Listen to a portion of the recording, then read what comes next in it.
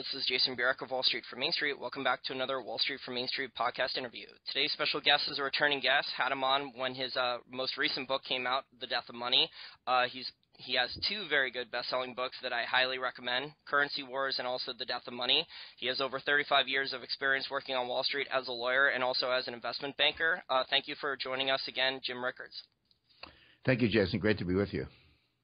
Now, um, Jim, let's talk about currency wars. Um, the the euro has just basically it just seems to me like the euro has gotten too strong. The European exporters have uh, said, you know, the euro's too strong. We want it uh, devalued so we can have more competitive exports.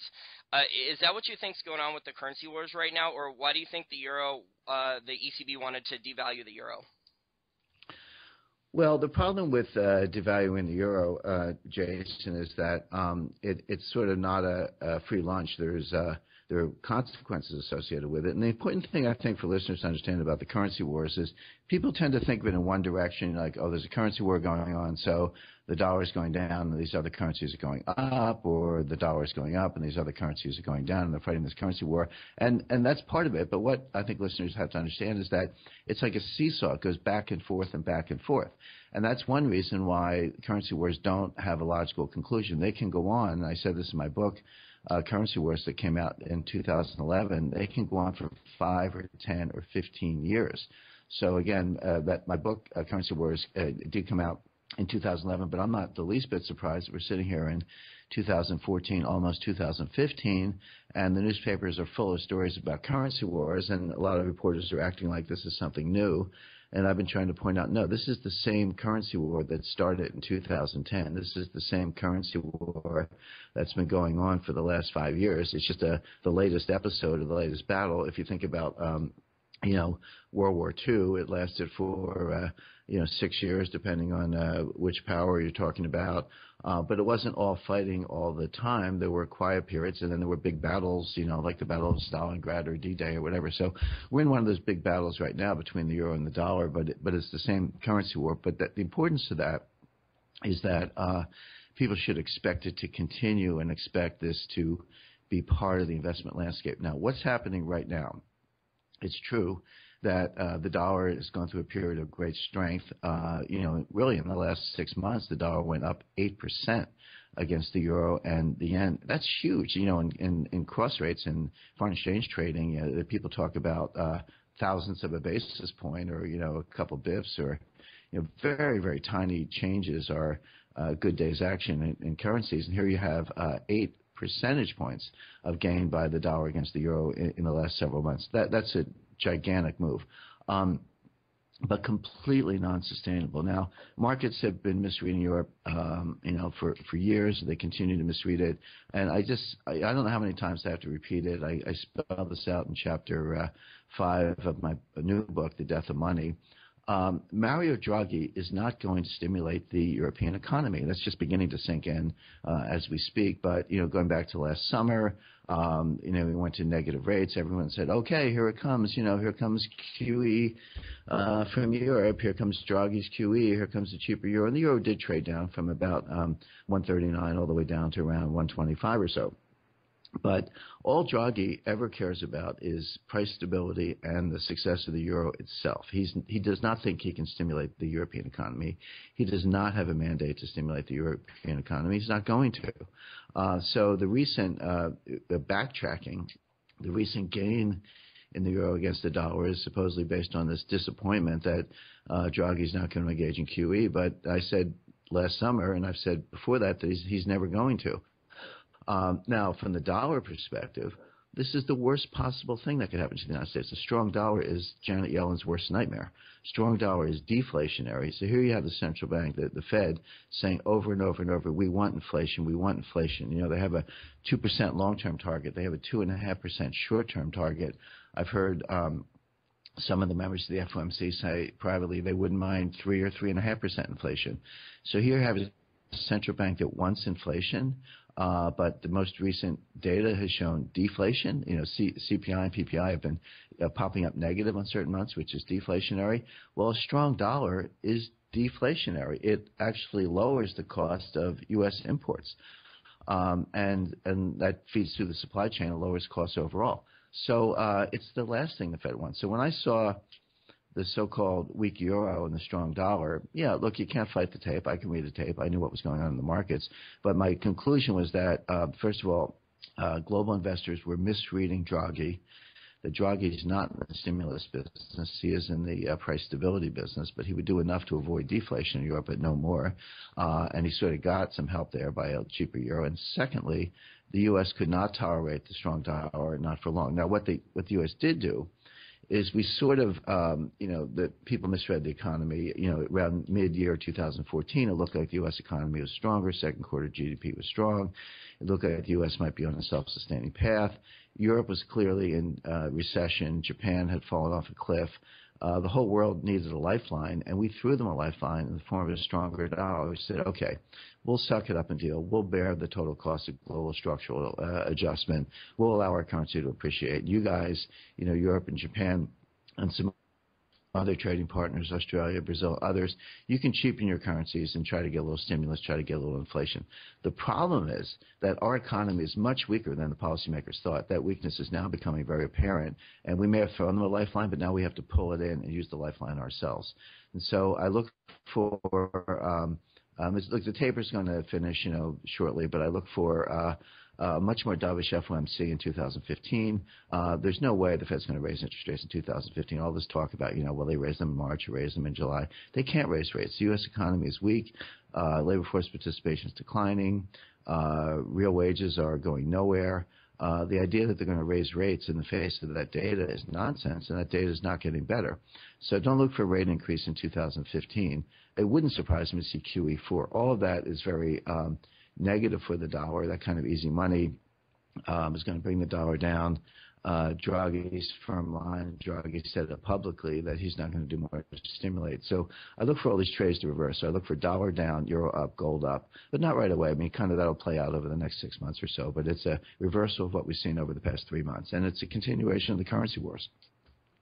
Now, um, the, these myopic rent-seeking Keynesians, you know, they, they're inflationistas. They prefer inflation to deflation. Clearly, we're seeing that now play out in Japan, who's basically been using, you know, Keynesian stimulus longer than anyone else, including the United States. Uh, I think we're seeing stagflation in Japan, uh, at least with the the people I talk to and with the data.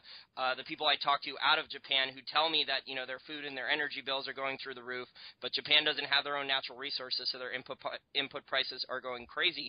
You brought up though uh, the taper uh, for the U.S., but you also reported that the CIA informed the U.S. that that uh, China and uh, Russia were dumping U.S. Treasuries, and then that's why the Belgium Treasury purchases is occurring, which basically the the Belgium Treasury U.S. Treasury purchases are the exact amount of the taper, right? So if if all these Treasuries are being stuffed out of Belgium, is it uh, are, are, is the U.S. really tapering that?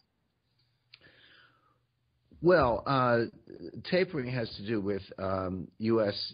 Uh, central bank purchases of U.S. government securities. The question is, are, are other people buying them? So maybe call it, uh, you know, uh, friends of the taper or friends of the Fed. Uh, I, I wish the CIA had told the Treasury that. That uh, uh, to my knowledge, they didn't. Uh, but you didn't need the CIA. You could see it in the public data. The, the, the, you know, you just look at the Treasury TIC report. You could see that the uh, Russia, in particular, was was dumping U.S. Treasuries beginning last October, October 2013. That was probably in preparation for moves in uh, Crimea and trying to insulate themselves from U.S. financial sanctions. Uh, my, my concern is not that uh, the data is secret, but that no one's looking. Uh, so, um, yeah, I think you can use what we call market or market intelligence uh, price signals that are available to everybody. It's not secret classified information. It's just stuff you can find from, you know, getting a Bloomberg or a price feed. Um, and uh, but the question is, are you looking? Do you know how to interpret it? Do you know how to link it to geopolitical events? And that's really the the art that I think needs some uh, development um, still on the on the part of the U.S. government. But getting back to your uh, main point, Jason. Um, well, look, if, if the data gets bad enough, the Fed will go back and buy the securities themselves. Now, who's buying through Belgium? Well, clearly it's not the government of Belgium. It's not, uh, you know, Belgian dentists and lawyers and doctors. It's some other international actor. Is it the Fed acting through nominees? Is it the ECB? Um, is it, uh, you know, perhaps China who doesn't want it to be known what they're doing? And that's all possible. But, um, but, but the fact of the matter is, the main player is still the Fed. Uh, and you know, there's so much uh, people got so spun up in uh, December 2012 when the Fed started the uh, the taper.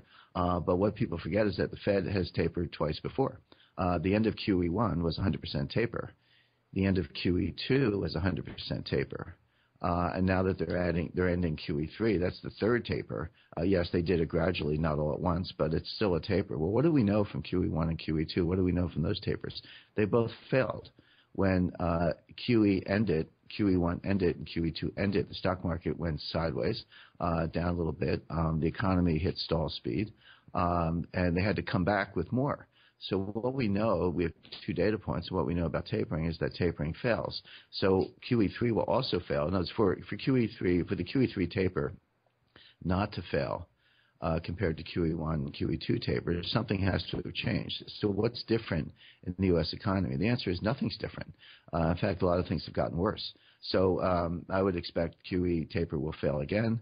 Uh, the U.S. economy will, uh, uh, if you may contract, certainly slowing down, certainly not getting anywhere near near the kind of self-sustaining growth we want. We're seeing that in the stock market action. The stock market, you know, remember the stock market threw a tamper, pardon me, the stock market threw a, a tantrum at the end of QE2. Uh, if you go back to QE2, that was announced in, uh, it was leaked in August of 2010 at Jackson Hole. It was rolled out officially in November 2010 at the Fed meeting and it was over in June 2011 when they hit their targets. Well, all of the benefit to the stock market took place on the front end between August and November. If you look at a stock chart, you'll see the market went up very strongly in September and October of 2010, just on the leak.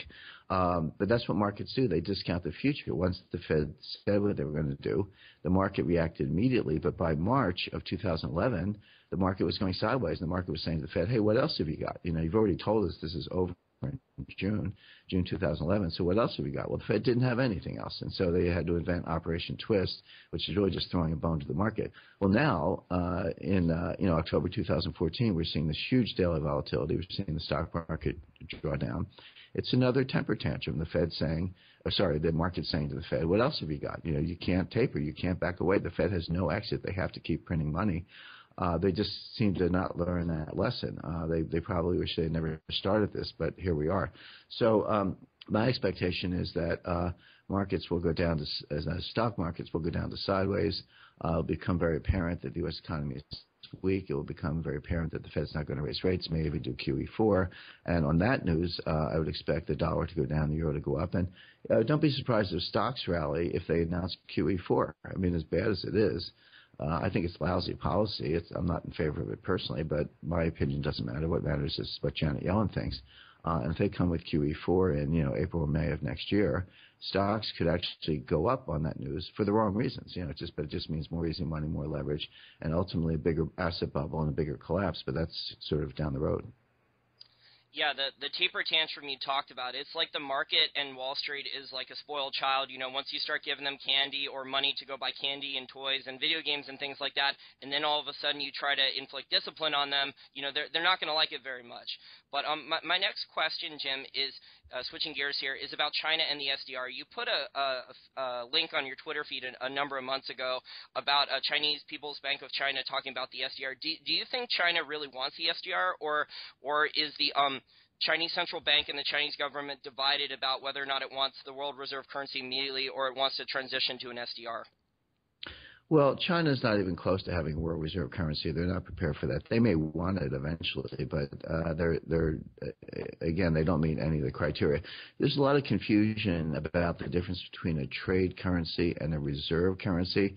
Everything China's doing right now is designed to promote their role as a trade currency. So these bilateral swap deals you see with Brazil and Switzerland and other countries, um, that's designed to improve the liquidity in the Chinese yuan, uh, get settlement payments mechanisms. I mean, after all, if I do want to use yuan to pay for Chinese goods or Chinese exports, I need some way of uh, you know holding them in a bank account and wiring the money and uh, you know creating that what I call the plumbing of the financial system, and that's fairly primitive as regards to the yuan. So that that part of it is moving quickly, and um, the Chinese yuan is expanding as a trade currency. But to be a reserve currency, you need a very large, deep pool of investable assets. I mean, what are reserves?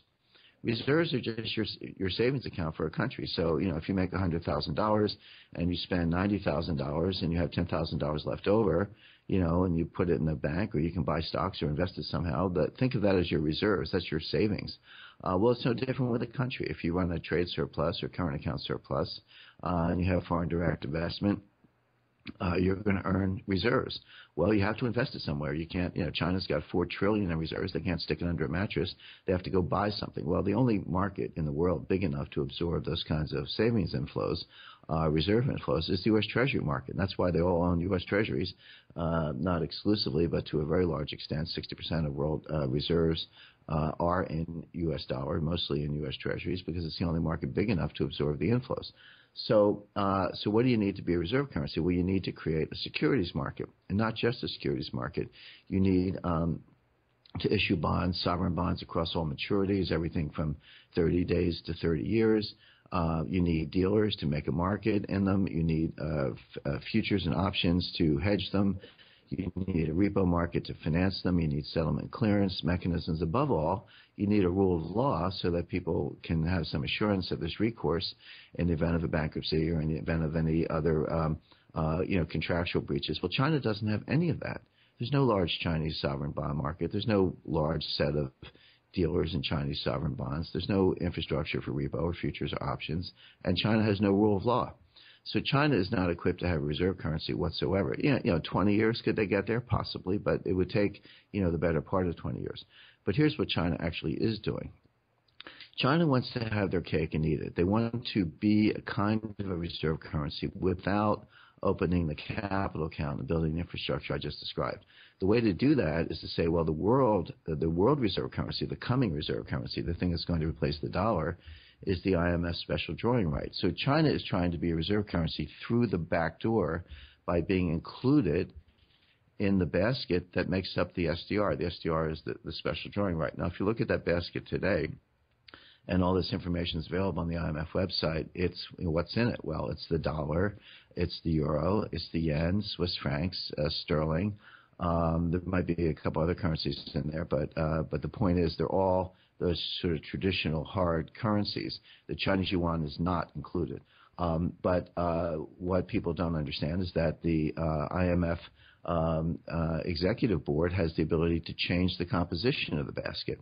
They could vote to include the Chinese yuan, and that, by the way, that's those discussions are taking place as we speak. Uh, right now, the IMF um, uh, annual meeting is taking place in Washington, and behind closed doors, the Chinese are discussing the mechanism and the timing of including the Chinese yuan in the SDR basket. So that's China's way of uh, being, in effect, a global reserve currency because once you make the SDR reserve currency and the Chinese yuan is included, it's de facto part of the global reserve without opening up the Chinese capital account to the kind of direct capital inflows in the Chinese yuan denominated bond market that I described. So that's kind of the, the big picture. Now, the U.S. is standing in the way of that. There's all kinds of pushing and shoving uh, about China demanding more votes at the IMF, the U.S. standing in the way, but the IMF demanding that the U.S.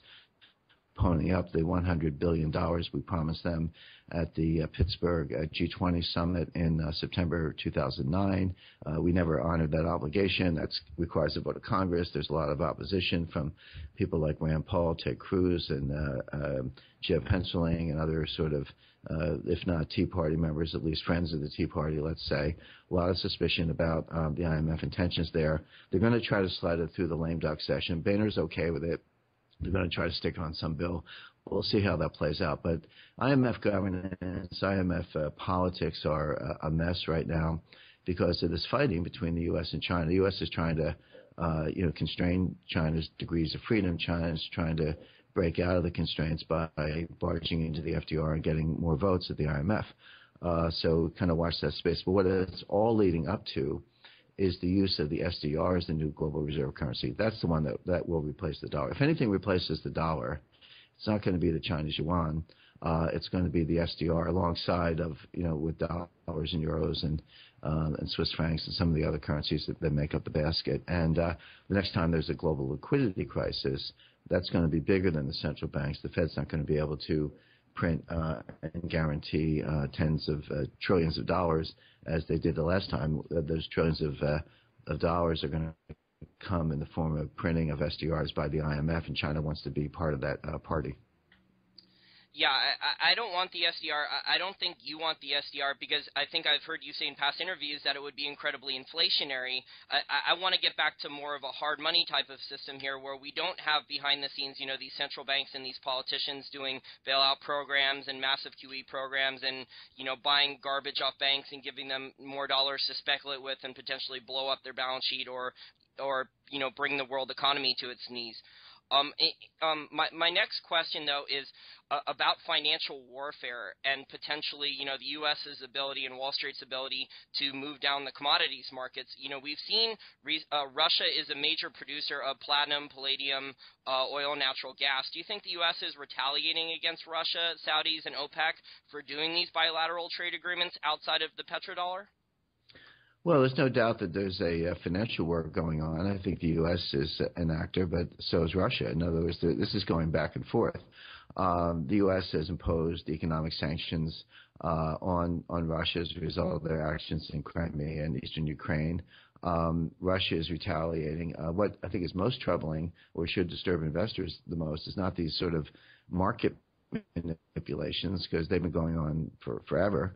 Uh, it's hard to, you know, I don't think we have markets uh, in the world today. I think we have uh, uh, shadow plays and kabuki and uh, the pretense of markets. We don't have real markets. Um, you know, starting with the Fed, the Fed's manipulating U.S. dollar interest rates. Well, uh, since the U.S. is 60% of global reserves, U.S. dollar is 60% of global reserves, uh, and the interest rate is sort of the price of dollars. Well, when you manipulate interest rates, you manipulate everything in the world. Every major market is priced off of dollars, references dollars. Uh, so you're really manipulating everything. Uh, but you know we've seen LIBOR manipulation, uh, gold manipulation, foreign exchange manipulation, uh, energy manipulation. Show me a market that's not manipulated either by governments or bad actors or frauds or crooks, and uh, you know I, I can't think of one. So that sort of comes with the territory. But I think what you're uh, getting at, Jason, is something even more dangerous than normal government manipulation, which is financial warfare, actually going into markets not for financial advantage, but for geopolitical advantage, and not to uh, sort of maximize your own wealth, but to destroy the wealth of others, uh, weaken them in geopolitical space. That's what is going on behind the scenes. Um, that's what's behind a lot of these cyber attacks. And I think one of the things that concerns me the most, you go back to the Cold War, uh, when we had what was called mutual assured destruction. That was a a doctrine that said, you know, the United States had enough missiles to wipe out Russia. It was, you know, it was the Soviet Union at the time, but call it Russia. Um, the U.S. had enough missiles to wipe out Russia. Russia had enough missiles to wipe out the United States. Well, that's a very unstable system because the temptation is to shoot first, wipe out the other guy, and you win. Uh, so this led to an arms race. The two countries said, well, let's build more and more and more missiles. So if the other guy shoots first, we'll have enough missiles left over that survive. We can shoot back and wipe them out, and so they won't shoot us in the first place. It's sort of a game theoretic uh, construct. Uh, we call it the two scorpions in the bottle. Uh, pardon me. You know, one uh, one scorpion can sting the other, and the victim will die, but the victim has just enough strength left to sting back, and they both die. Uh, and so that was that was what was called mutual assured destruction. Well, now we have mutual assured financial destruction, where as the U.S. throws its weight around, uses the dollar to intimidate geopolitical rivals and trading partners, the capacity of, of those other countries to strike back is much greater than it was in the past because of what's called asymmetric or, or, or, unconventional warfare in cyberspace in particular. And the Russians are probably the best in the world at this. The U.S. is pretty good, but uh, Russia is extremely good also. Now, what should trouble investors is the risk of an accident. You know, you go back to the Cold War um, uh, nuclear warfighting scenarios I just described. The two most famous uh, movies of that era uh, from the 1960s, um, Fail Safe and Doctor Strangelove, both great movies, by the way, uh, shot in black and white, um, involved nuclear warfare between Russia and the United States, but they both involved either accidents or rogue officers in the chain of command. It was not sort of an intentional, premeditated strike. It was something that went wrong in the system. And when you're fighting cyber warfare in complex systems, the potential for some, uh, you know, mid-level person to be loading some code or updating some attack code or installing an attack virus in the operating system of, say, the Nasdaq Stock Exchange, something that was, but that did happen, by the way. It was real, revealed publicly uh, last summer by uh, uh, Bloomberg Business Week that there was a Russian attack virus discovered by the FBI and Department of Homeland Security inside the Nasdaq operating system. Um, so that should come as no, no surprise. But in the course of doing that, you know, does somebody push the wrong button or write load the wrong code or do something that accidentally shuts down the markets? And that's entirely possible. And that's a reason for investors to have some of their wealth in non-digital forms. So non-digital wealth would be uh, physical gold, physical silver, fine art, land, things that cannot be wiped out by uh, um, digital warfare, things that cannot be frozen or locked in place by the U.S. government. So you do want some of your wealth, not all of it by any means, but some of it in uh, in tangible form. So it's uh, been great uh, talking to you, Jason. Really enjoyed the interview, and uh, look forward to doing it again soon. Yes, I, I definitely look forward to doing it again soon, Jim, and uh, hopefully we can continue to talk about currency wars, financial warfare, and uh, get to ask you some more detailed questions on the gold market on the next interview. Thank you, Jason.